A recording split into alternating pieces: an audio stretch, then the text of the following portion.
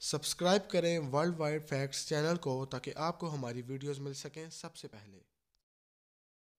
دوستو، آج میں آپ کو دنیا کی سب سے مشہور ترین سافٹ ڈرنک کوکا کولا کے بارے میں دلچسپ حقائق بتانے جا رہا ہوں، جسے سن اور دیکھ کر آپ واقعی حیران رہ جائیں گے۔ تو چلیے، شروع کرتے ہیں۔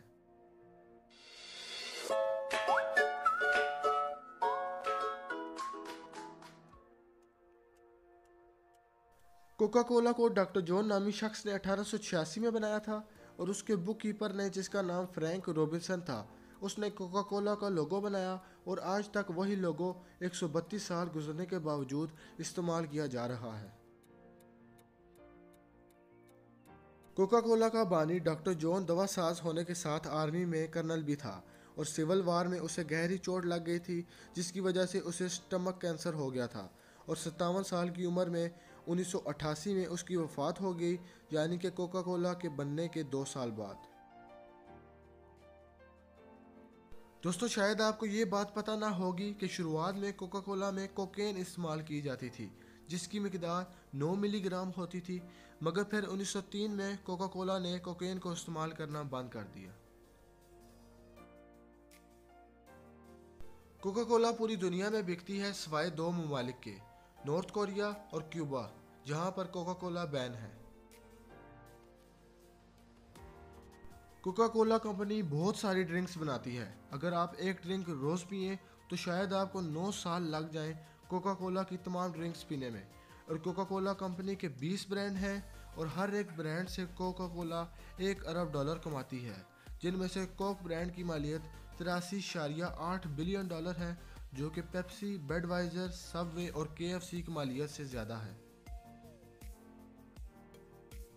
دنیا بھر میں سے سب سے زیادہ کوک میکسیکو میں پی جاتی ہے اور ایک اندازے کے اعتبار سے میکسیکن لوگ ہر سال سات سو پینتالیس کوک کی تمام سافٹ ڈرنکس پیتے ہیں، جبکہ امریکہ میں چار سو ایک کوک کی سافٹ ڈرنکس پی جاتی ہیں۔ Coca Cola company Santa Claus کا بہت شکریہ ادا کرتی ہے، کیونکہ سردیوں میں کوک کی سیلز کم ہوتی تھی تو کوکا کولا نے انیس سو بیس سے ایڈورٹائزمنٹ کرنا شروع کر دی، مگر اس سے کچھ فرق نہ پڑا۔ اور انیس سو اکتیس میں انہوں نے کئی ساری تصاویر اشتہار کے طور پر استعمال کی اور ان میں سے ایک تصویر بہت مشہور ہو گئی جو کہ سینٹا کلوز کی تھی، جسے لوگوں نے بہت پسند کیا اور جس کی وجہ سے کوکا کولا کی ڈیمانڈ بھی بڑھ گئی۔ انیس سو پچاسی میں کوکا کولا دنیا کی پہلی سافٹ ڈرنک بنی، جسے سپیس میں جانے کا اعزاز حاصل ہوا۔ ایسٹرونوٹس کوکا کولا کو اپنے ساتھ سپیس شٹل میں لے گئے تھے، جس کا ٹن ایک خاص طریقے سے سپیس کے لیے بنایا گیا تھا۔ کوکا کولا کی بوٹلز کی مقدار دنیا بھر میں اتنی زیادہ ہو گئی ہے کہ اگر ان تمام بوٹلز کو آخر سے آخر تک جوڑ دیا جائے، تو وہ چاند تک کا فاصلہ طے کر لیں اور دو ہزار مرتبہ چاند سے واپس بھی آ جائیں۔ کوکا کولا کمپنی کی تقریباً ایک ہزار چار سو پچاس سافٹ ڈرنکس ہیں، جن میں ڈائٹ کوک فینٹا اور سپرائٹ بھی شامل ہیں۔ ڈائٹ کوک انیس سو بیاسی میں متعارف کروائی گئی تھی اور اب دنیا کی سب سے اعلیٰ ترین ڈائٹ ڈرنک ہے۔ انڈیا میں کوکا کولا کیڑوں کو مارنے کے کام آتی ہے کیونکہ یہ سستی ہے اور اپنا کام اچھے سے کرتی ہے۔ دو ہزار چار میں انڈیا میں کوکا کولا پلانٹ کو بند کرنے پر زور دیا جا رہا تھا کیونکہ اس پلانٹ کی وجہ سے زمین کے پانی میں خرابیاں پیدا ہو رہی تھیں اور ماحول میں آلودگی کا سبب بن رہی تھی۔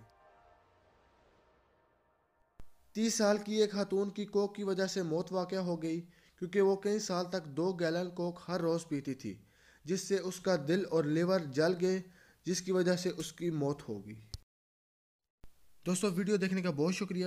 ویڈیو پسند آئے تو لائک کریں، اپنی رائے کا اظہار دیں اور چینل کو سبسکرائب کرنا مت بھولیں۔